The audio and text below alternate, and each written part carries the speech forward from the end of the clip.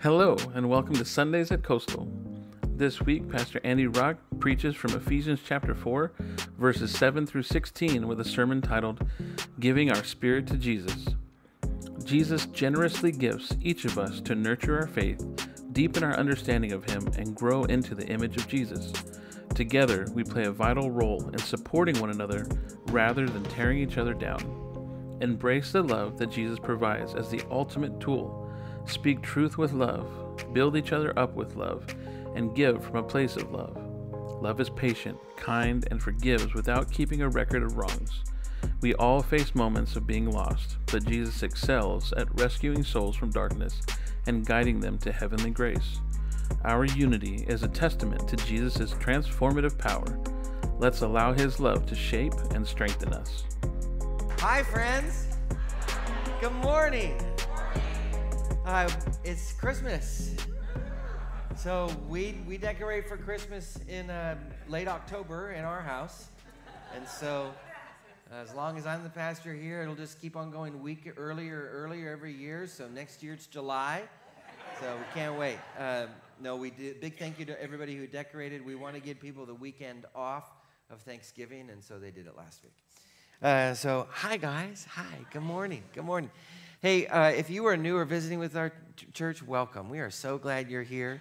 Um, it's not an easy thing to come to a church for the first time, and so many of you have done that this year. We've grown by uh, 200 people in the life of our church this year. And so, so many of you are new, and I just want to welcome you. We do this every uh, week as a church, and we talk about what our vision is as a church because that's how our elders and our leaders make decisions in our churches and in this church, and it's how we spend our money, and it's what we focus on. Uh, so we believe three things. Number one, there's always hope beyond our brokenness, always. And so families this week that are experiencing financial brokenness came to this church, and they got enough food and money to get Thanksgiving on a table for them. And you were a part of that. That's amazing. Next, we believe that we are called to uh, trust in our risen Savior. And we're all learning how to do that together in little areas of our lives. One step at a time, one moment at a time, we learn to trust Jesus. Um, I don't know, it's kind of weird. We all have crises of faith all the time. That's what it looks like. We come to an area of our life where we don't quite know how to trust Jesus with this person or this situation or this diagnosis or this need or this desire, and then we learn how to trust Him. And we, we do the hokey pokey, right? my way, God's way, my way, God's way. And, but we need each other to learn how to trust Jesus in the middle of it all. And so we do that together as a church. And then finally, we get to bring restoration. And so, for those of us who got to volunteer this weekend, that was a moment of restoration. And then Kilo gets to bring restoration to someone's life this week because we all put a couple of dollars in a bucket to see what we could do there. And we do this over and over and over again in our church. And right now there's there's six mostly pagan high schoolers and junior highers meeting with Kim across the street. And so Jesus bless Kim, our youth intern, and she loves them, right? So we do these things. We love the people in our lives, no matter where we are. Uh, and we bring restoration there. And we want that restoration for your heart, and we want it for people that don't go to our church yet, because we believe as a community that we're nothing less than the hell breaking down army of God's love and light in this world. Amen? Amen. So, each one of those truths has a choice. That's just not like we don't just sort of believe those things and then go about our day. We actually choose those things moment by moment. And so we say this every week, and this is a thing that you can say every morning, right? Today, if you want to, choose this with me. Today, I choose to be changed by Jesus. I choose to seek Jesus first, and I choose to join Jesus in his resurrection work, right? So if you go out to lunch after this, and Jesus says to be generous to your server, that's joining him in his resurrection work. And if you go home today and your spouse or your kids are cranky,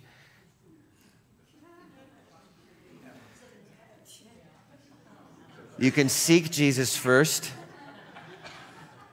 and then ask Him, Lord, give me mercy and love them. Amen? These are choices we make every day. So, I have a question for you. Can I speak to your heart of hearts this day? Is that all right?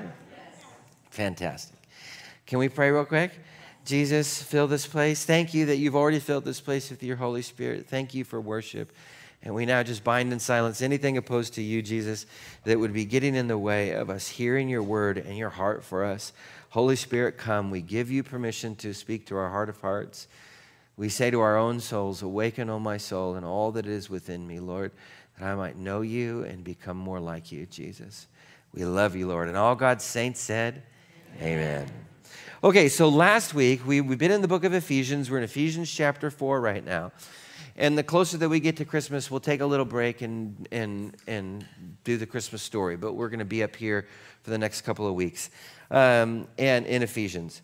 Um, so last week in Ephesians chapter 4, we talked about living in unity with each other. And I talked about how living in unity is tension. And that tension is good. It's not bad. It's actually really good. Tension is us making every effort to keep the unity that we have together. And that, that puts us in tension. Um, when you sacrifice time and money and emotional energy to love someone, there's tension there in your life, right? And that tension isn't bad. Uh, tension happens when people who love us are courageous enough to call us out on our stuff. Tension happens when we stay and deal with it rather than run so there is no tension in our life. Tension isn't bad. Tension also happens when the people that we love and care about make hurtful choices and we don't try and resolve our tension by berating them or controlling them, but instead we accept that they've made a difficult decision. We tell them and communicate with them as best we can in love, but then at the same time, we, we take our hands off of them and say, God, you, you've got them. That's not easy to do. That creates tension in you. It's much easier to resolve your tension by saying, Stop it! right? Because as the tension builds, you want to do something. Now, God lives in this same tension with us because He's making every effort to build us up in unity and to unite Him with us.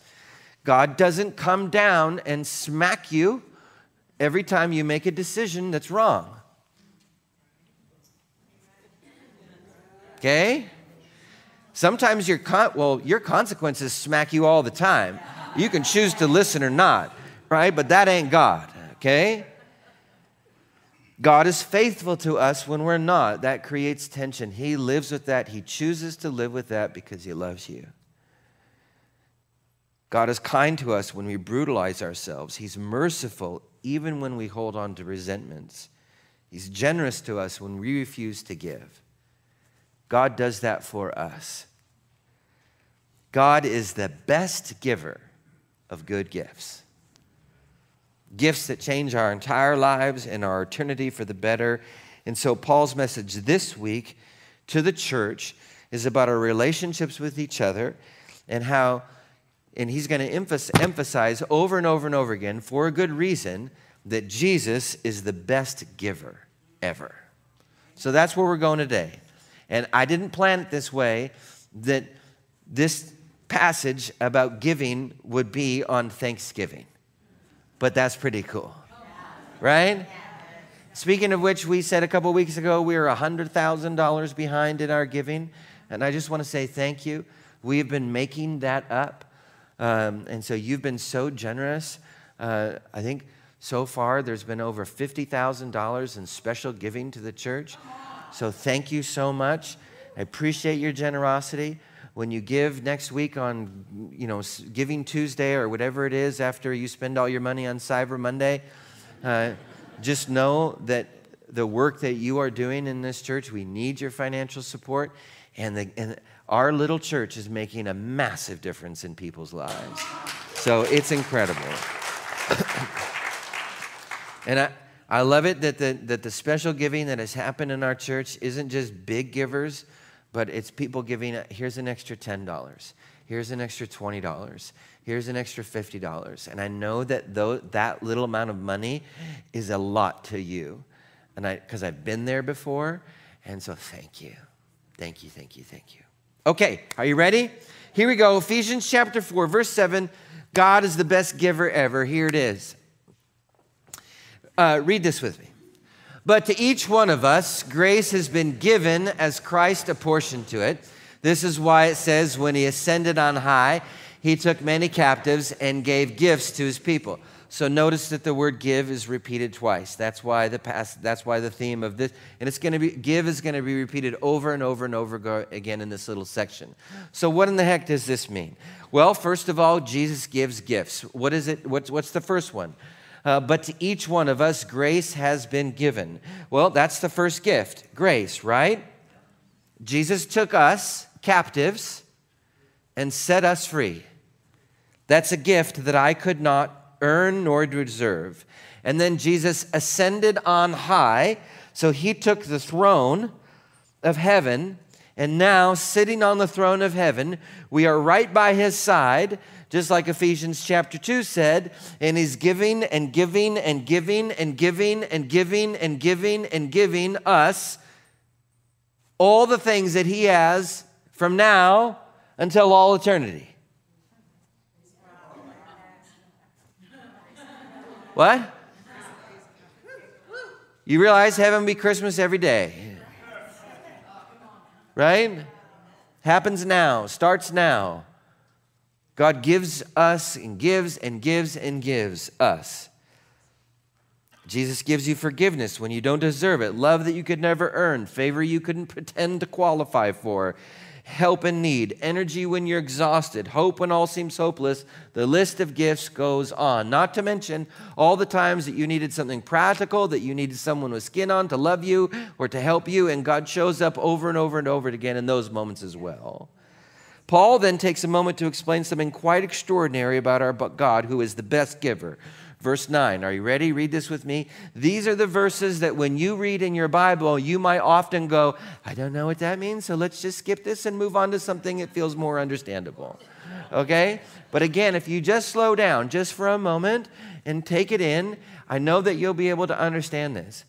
Okay? So here it is. Are you ready? What does he ascended mean except that he also descended to the lower earthly regions? Okay, now just think about that. If Jesus descended, or if he ascended, that means he once descended, right? Where did Jesus come from? Heaven. It's not Milwaukee, right? It's heaven. Great. It's not the ozone layer. It's heaven. He- heaven, right? You say that with a B, a little bit. Heaven. That's where he came from. Heaven, right? So I just need you to understand this. Would you leave heaven for you?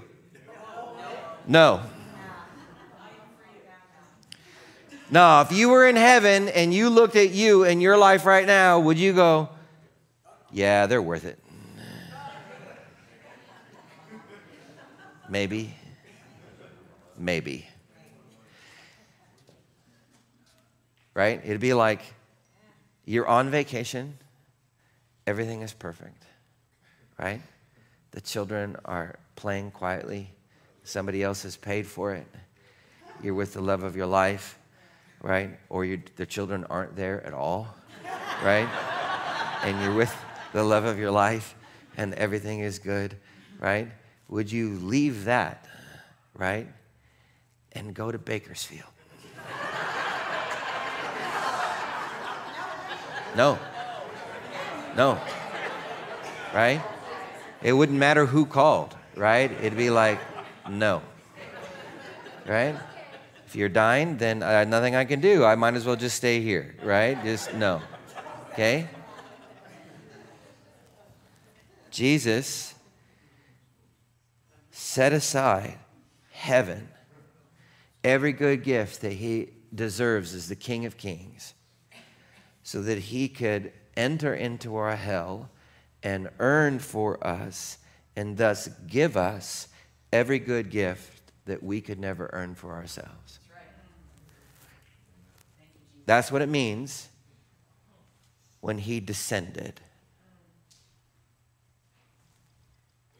His descent was for our sake, for our salvation, so that we could be united with him. And then when Jesus ascended to heaven in the resurrection, he did that for us too. So that in his sovereign rule and reign over the entire universe, Jesus now works all things for good for those who are called according to his purpose. Amen? So that he can pour out unending love and mercy to you, even in the hot mess of your bad decisions and other people's bad decisions, which keep on wrecking things. Amen?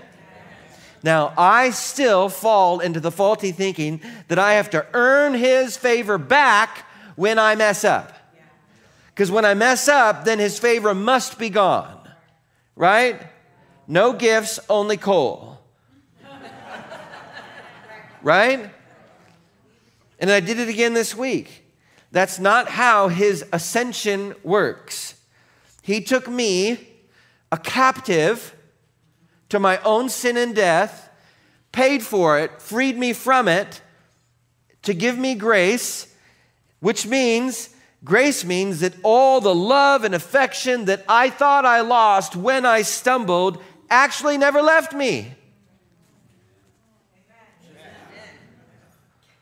God isn't, when we talk about God being holy and God being pure and God being all love, we often think, well, that must mean he don't like me when I'm not. No. He left heaven for you and for me. You're not scared of your muck and your sin and your death and your hell. He's, in, he's living with you in it right now. He's united and bonded to you in it right now. He's never left you. He's never going to leave you. You don't have to earn your way back when you fail. He's right there with you. So, why do I go back to this rotten strategy of not wanting to admit I'm wrong? I'm fine. No, I'm right. Back off. Why do I get defensive? Why do I then mix in a little gross dollop of being a martyr and say, No, poor me, I messed up again? you ever do that? Oh, martyr's ugly, right? I know I hurt you, but look how much pain I'm in because I hurt you.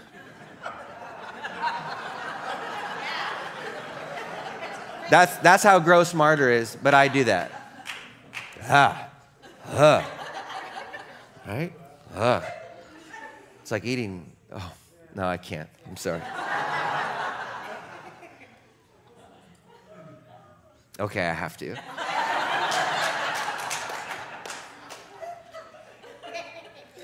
I love my mother in law so much, but um, she brought a zucchini to Thanksgiving and then stuffed it with quinoa because she's a vegan. That's the image of being a martyr, right? Not that there's anything wrong with being a vegan, and not that there's anything wrong with quinoa stuffed in a zucchini cooked in an oven for two and a half hours. But that compared to turkey, right? So there you go. Okay. That's it. Right? Why do I go back to being a martyr? Why do I go back to being defensive? Why do I go back to not wanting to admit when I'm wrong? Why do I go back to beating myself up? You know, it's all just dripping with this foul, stinky pride, right? And that's so ridiculous. How can a captive rescued from hell, brought to heaven by the King of Kings, say, It's all about me? No, it's all about Jesus. It's all about Jesus. Why is this so important? Oh, for like a million reasons. But let me just say two. First, just noticed, notice for a moment the majesty of Jesus and all that he gave up for you and what he still gives for you. And let the love of God, take a breath, let the love of God and his amazing grace make your heart alive. The hero of your story is not you, it's Jesus. And let that honor that he gives you sink in for a moment. God didn't send an angel or an ambassador or an Uber driver to pick you up from your hell. He came for you himself. That's how much he wants you. You have any idea how important you are? That the King of Kings, that the creator of the universe chose you because he loves you because he wants you. Wow. Now, second, this might seem weird. And as much honor as I'm given by Jesus, my life then is now not about me. Right? I am honored by God. I am irreplaceably valuable in God's sight. I am worthy of every good thing that He has given me, but now my life is not about me. Jesus has given and given and given to me so that now my love and efforts and kindness and generosity don't have to be bound with the obligation that the person whom I bless somehow has to make me feel amazing because I decided to be generous. Can I say that complicated sentence in a really simple way? Have you ever given a Christmas gift to someone and been mad that they didn't like it enough?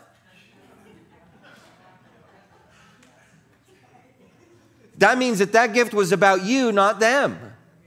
I mean, I did that to my family for years, right? My brother liked Transformers. I like G.I. Joes. I gave him G.I. Joes for Christmas.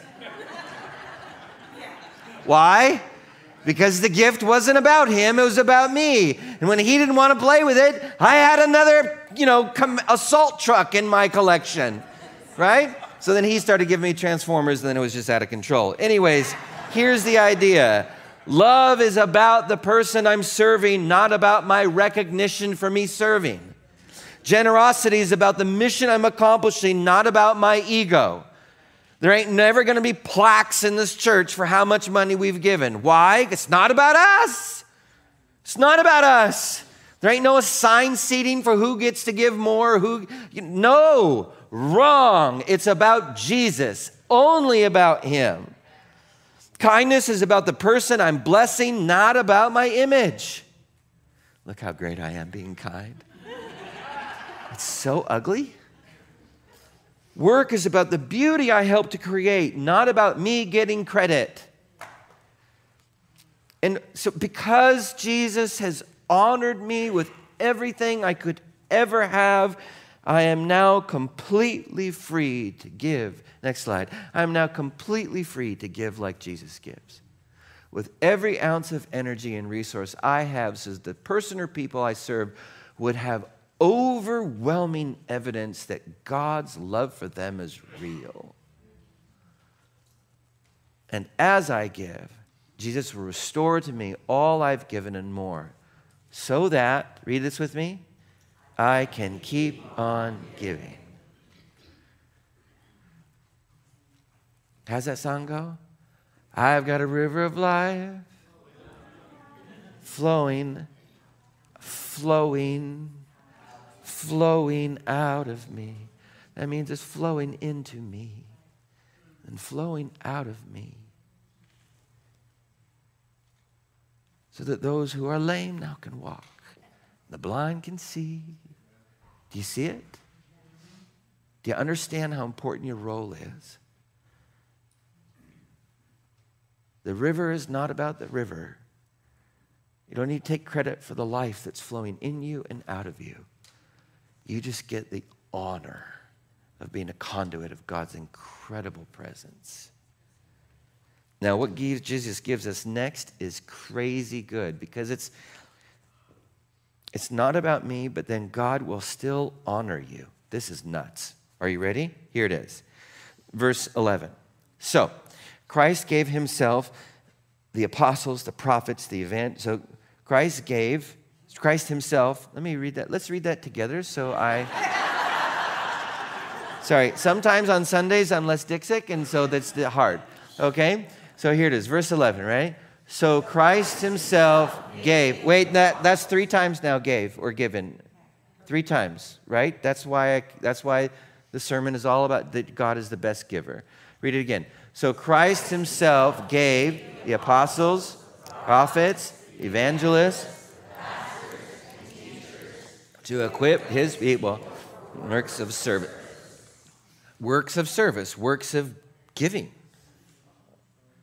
Now, I don't know if you've ever been sat through a really boring sermon about all of the gifts and what they do and whatnot, and you've thought to yourself, well, I don't have any of those. So let me just quickly explain to you what these are so that you can understand that most of you have a lot of them. First of all, our gifts are for each other. If you blaze new trails in any area of your life, you're, you're an apostle. That's what apostles do. We're starters. We blaze new trails. We start new things. We like to start things. We're the ones, we're the tip of the spear. We're the person that says, let's get it done. We make it happen. That's an apostle. Some speak the truth of God's heart and love as prophets. If your heart breaks for other people, for the world's situations, if you see a situation and go, that's not right, you're a prophet. Okay? That's what prophets do. Prophets is not about just predicting the future. Sometimes God will give you a vision or a, or a, a premonition, right? If that's the case, if that's you, right? Let's, let's, let's buy stocks together, right? Let's, it'll be great.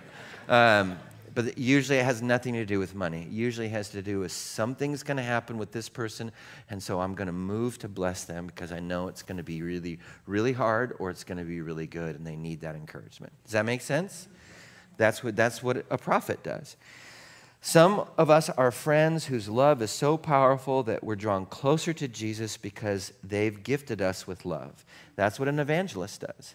If you are a really good friend that loves your friends and loves your family members, and just you keep on loving them and keep on loving them and keep on loving them until they go, what the heck are you doing? Why are you so nice? That's what evangelism is. It's the good news that you are sharing the good news. And it, happens in word, it happens in deed, but that's what evangelists do. If you're an awesome friend, you're an evangelist. Right? It's not someone who stands on a corner and like yells at people. That's not an evangelist. Right? That's someone yelling at people on a corner. Right? Okay?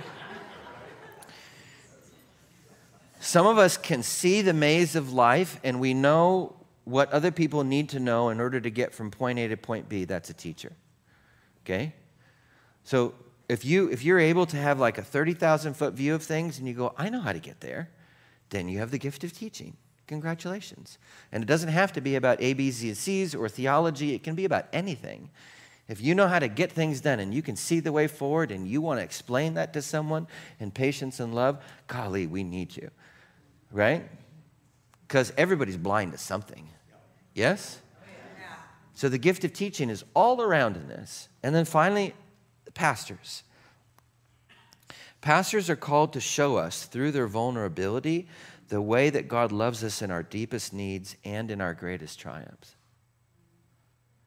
If you are vulnerable with your life and you want to be vulnerable and, and give, like, my job literally is just to show you how I fall flat on my face and where God shows up. Why? I can't fix you. Good Lord, that'd be the worst job on planet Earth. it's true.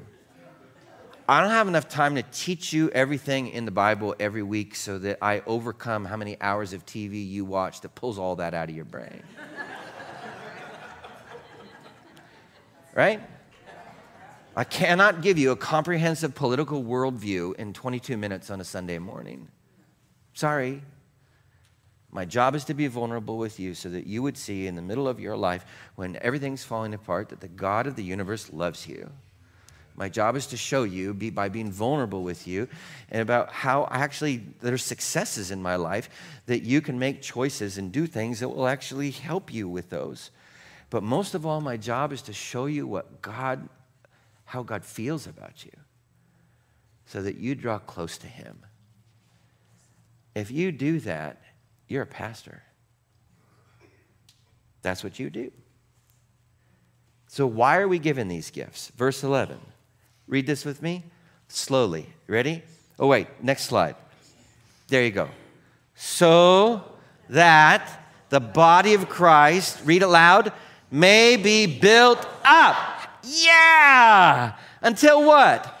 Until we all reach unity in the faith and in the knowledge of the Son of God and become mature. Oh my gosh, that's amazing. So that we would be built up and that we'd be drawn together and that we'd actually grow. The Holy Spirit undoes the lie that people never change. Hogwash. We mature. We're growing into the spitting image of Jesus, attaining to the whole measure of the fullness of Christ. Man, that means I need you. That means we need each other. And we're called to build each other up, not tear each other down. Now, we tear each other down without even knowing it half the time. Sometimes we're very um, or, or, delighted in our ability to tear people down. Um, sometimes we want to just, you know what, um, golly, I just, I just got something to say. You know, have you ever thought about doing it this way? We don't see our criticism or our uh, or our anger as a way of tearing people down, or our absence as a way of tearing people down. But why tear people down when I'm only focused on me. I build people up when my eyes are fixed on Jesus. I tear people down when I'm angry, bitter, frustrated, unforgiving. I build people up when I forgive, when I ask for prayer, when I lean on my friends for help. You have no idea how important it is that you ask your friends for help. It builds them up because it allows the release of their gifts into your life. I tear you down when I take, I build you up when I give. I tear you down when I want to control it all, I build you up when I want Jesus to be in control. So, I don't know, what do you want to do? What do you want to do? Do you want to build others up or tear them down? Are you sure it's Thanksgiving week? You're going to be stuck with them for days. Days, right? I got wise. I'm sending Levi up to Seattle to see my family, right? They ain't coming down here, right? Ooh. Right? Oh, we can't make it this year, Mom. Why don't you go up there, Levi, right? right? So th- there it is. What do you want to do? Would you allow Jesus to build you up? Would you allow others to build you up? That's trickier. Let's start with Jesus. Can, if you want Jesus to build you up, would you pray this prayer with me? Jesus, forgive me for tearing others down. Forgive me for tearing myself down. I need you, Jesus. Take a breath. Thank you for the people who are building me up. I receive them as a gift. Open your hands like you're receiving a gift. I choose to build them up. I take back my purpose, my love, my generosity, my humility, and my faith. I look back at my week and I can see all the people who build me up. It's overwhelming. Sandra keeps on texting me day a week, week after week, building me up. Thank you, Sandra. People give me wisdom that I don't have. Thank you. People speak to me hard truths I don't want to hear, and I live with the tension in that. Thank you. The list goes on. I was talking to Mia this week, and we were talking about isolation. And for years, it was way easier for me to isolate, right? No tension. I'm alone. I can do what I want, no tension with anybody, right? Then when I am with people, I'll just perform. So please love my performance, right? And then I'll isolate in the background so you never see my hot mess. Okay? And isolation is beautiful. Oh, there's no tension in my life, right? And I don't want to get hurt again, but I said stuff like, you know, it's easier this way, or you know, I just, you know, that's just how it is, or that's what I do, or you know, uh, you know, whatever, or hey, you know, I just, you know, I, I, got a few close friends, but not a lot of close, you know, I just, I, I would say, I would justify my isolation with those words. But I've had friends these past couple of years who've refused to let me isolate, and annoying as that is, and now I know why. That isolation is terrible but being loved and built up is absolutely amazing. So then Paul says, verse 14, then we'll no longer be infants tossed back and forth by the waves, blown here and there by every wind of teaching, and by the cunning and craftiness of people in their deceitful scheming. Why is Paul in the middle of all this throw this curveball in here? Why? And I'll end with this here just shortly. Okay? Why? Why does Paul throw the curveball in here this way? Why is Paul concerned about being tossed around by others or others scheming, leading you astray? Because he was. Paul didn't wake up when he was 12 years old and go, I want to murder people for God. He didn't. He thought, God, I love you so much. I want to keep your, I want to keep your people holy. I want to see the whole nation of Israel love you and adore you. God, I give my whole life to you. That's how his journey to become a rabbi started. It was other people who led him astray and said, in order to get people to change, you gotta, you gotta, you gotta hit them. And so Paul says this instead of using violence, verse 15, this is the hardest verse in the whole book of Ephesians. Read, read, read this with me. Instead, speaking the truth in love. Dang it! We will grow to become, in every respect, the mature body of Him who is the head, that is Christ. I want to be the head so that when I speak words in love, people will follow what I say. Like, Jesus, I don't want to do it your way. I want to do it my way just for a moment so they really get the message. it's the hardest verse in the book of Ephesians, right? Oh man, I you know I don't I don't want to like how about I just like smack them in love? How about if I just bomb them in love? No, no, no, no. I speak to them in love. There's a little elementary school girl, she's nine years old, she lost a class member. Uh, her friend died. Her neighbor across the street as well. She's in their same elementary school class. And uh, her family found out and they were just so distraught. And, and their, you know, little girl's like, Mommy, I want to go over there. And they're like, No, no, no, no, don't, you know, don't go over there. Nothing you can do. But this little girl bolted out the door and ran over to the neighbor's house and parents are kind of froze. What do we do? You know, like we don't want to intrude on the grief. And so they just, the front door opened, and the mother who had just lost her own child answers the door. And, you know, she looks up across her friends and neighbors and she waves, and little girl walks in. She comes back an hour later. And dad says, Where, where were you? And she goes, Well, I went to help. And her dad said, What help could you give a grieving mother? And the little girl said, Well, I climbed up on her lap and then we just cried together. And that was enough. It's just love, guys. It's just love. Love's enough. Like when when people would call our church a couple of years ago and they would ask for help, I would give them the name of like Salvation Army or like other places to go. And then we did a prayer retreat, and Augie, who goes to our church, didn't have a place to live, and Debbie and I were leading it, and Debbie said, No, she's a prophet. That's wrong. We're going to do something about it because she's an apostle too, right?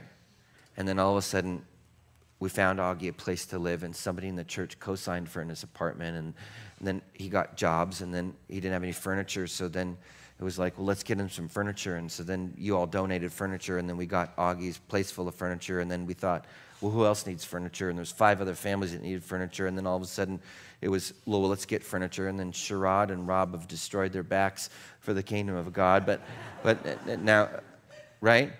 And now we are the church that other churches say, well, if you need help, call Coastal. I don't refer people out anymore.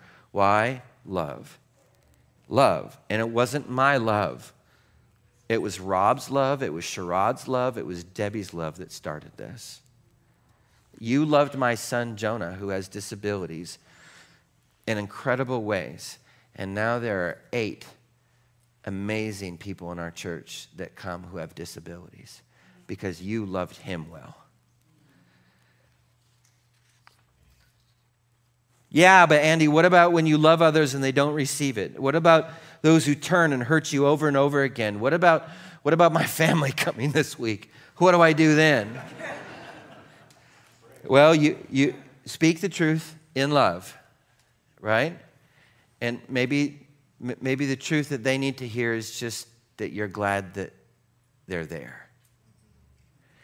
And for the people in your life that don't want unity with you, right? Often what we do in trying to keep them around is that we we grab them.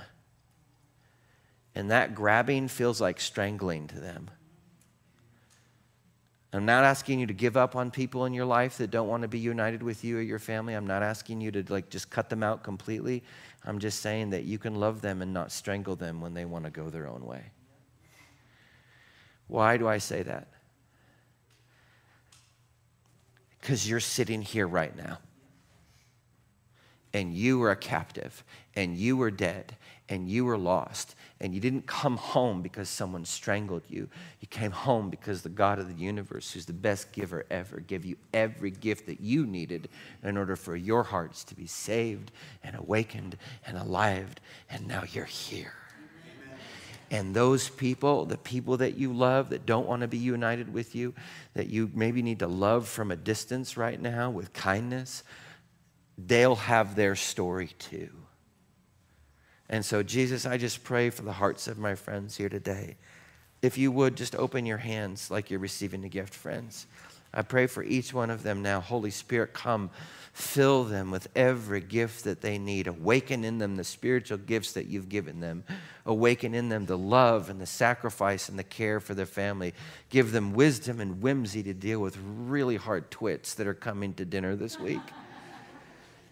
And God, if they're the twit, show them to bring us to repentance and humility, to, that we would be so honored that in our captivity you loved us, God. Bless my friends. Seal these good words in their hearts this day.